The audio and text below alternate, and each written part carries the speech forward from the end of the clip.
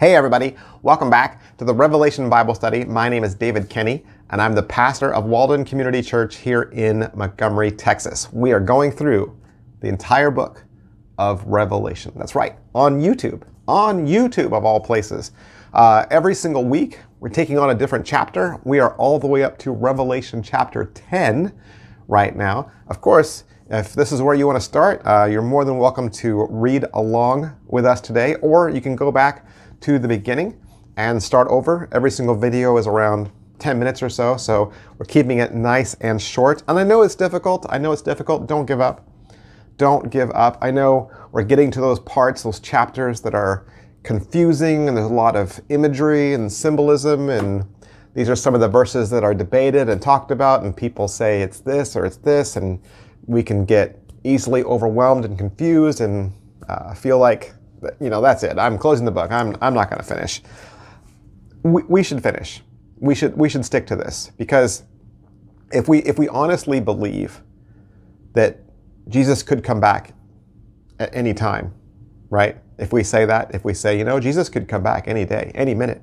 Well, if we really believe that, then we should read this book. We should understand it, right? Because it's the same as saying, um, any minute now, there's going to be an earthquake.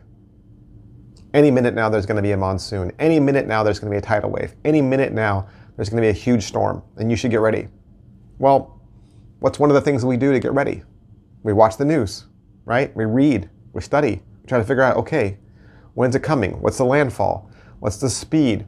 What's happened uh, in situations like this before? How do I best prepare? This is how we best prepare. We read this book. Okay? Don't be afraid of it. We're just using our logic, right, and rational thought. We're just thinking, okay, what does this sound like rationally? What does this sound like logically? And just going from there. So where are we right now? Uh, John is in the throne room, right? This is where he's been. He's receiving a vision, a revelation of end times. He's seen Jesus. Jesus is holding the scroll, the deed to the earth in his hand. He's been popping off the seals. And every time he pops a seal off, a different angel and a different cataclysmic event happens, right? And so we're up to Revelation chapter 10. It says, Then I saw another mighty angel coming down from heaven, wrapped in a cloud, with a rainbow over his head, and his face was like the sun, and his legs like pillars of fire. Okay, so earlier we had seven trumpets, seven angels. Now we have a new angel. Who is this? Well, let's think about it.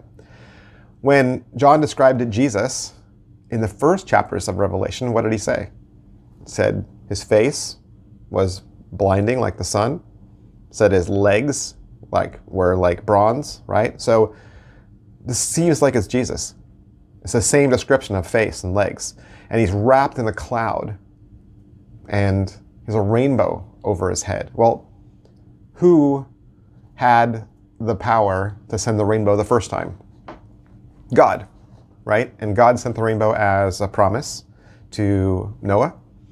And the rainbow was a promise of God's mercy, right? He said, This is going to be a reminder to you that I am merciful and I will never destroy the inhabitants of the world again. So the Bible says, whenever you see the rainbow, remember this promise. Well, here's the rainbow. Verse 2 says he had a little scroll open in his hand. Jesus has had this scroll in his hand. He's been opening the scrolls, right? He said his right foot in the sea and his left foot on the land. So he's a giant, right? Jesus comes back as a giant and he's got the scroll of the earth in his hand, like the deed of the earth. He's got one foot in the ocean and one foot on dry land. And verse 3, he calls out with a loud voice like a lion roaring, right? Even those first chapters of Genesis talked about Jesus' voice being loud. And he calls out, the seven thunders sounded. And when the seven thunders had sounded, I was about to write. But I heard a voice from heaven saying, Seal up what the seven thunders have said and do not write it down. Do not write it down. So he tells us he was going to write it down, but then doesn't. He tells us he was going to tell us what was said, and then says, Well, I can't tell you, so I, I can't tell you. So, what does that mean? Should we stop here and try to figure this out? No. Good news. You don't need to know, right? This is why this is why people don't like Revelation because there's all this mystery. There's all this symbolism. There's all these unknown things. But meh, just let it go. Let it go. Because it, it says right here that it's not for us to know. So if it's not for us to know, we don't need to worry about it. You know, if somebody's going to ask you and say, "Hey, which which which is a real troubling verse for you in the Bible? What's a verse you don't understand?" You could say eh, Revelation 10:3, and then move on, right? Okay, I don't get it, so oh well. Verse 5 And the angel whom I saw standing on the sea and on the land raised his right hand to heaven and swore by him who lives forever and ever, who created heaven and what is in it, the earth and what is in it, and the sea and what is in it, and there would be no more delay. So there's an oath, right? Jesus swears. He has the seal and the uh, scroll in his hand standing with one foot in the ocean, one foot in the continents, and he gives an oath. He swears on God's name. What does he swear? He says, No more delay. No more delay. This is the second coming. This is it. This is the end. You are waiting for the end. You're waiting for the end times. This is it. No more waiting. This is last call. This is final ticket. No more waiting, I promise. This is the end. Verse 7 says, But that in the days of the trumpet call to be sounded by the seventh angel, the mystery of God would be fulfilled, just as he announced to his servants, the prophets. So, this is what we expect would happen at the end that prophecy would be fulfilled. And it says, even the, the mystery, right? The mystery would be fulfilled. What does that mean?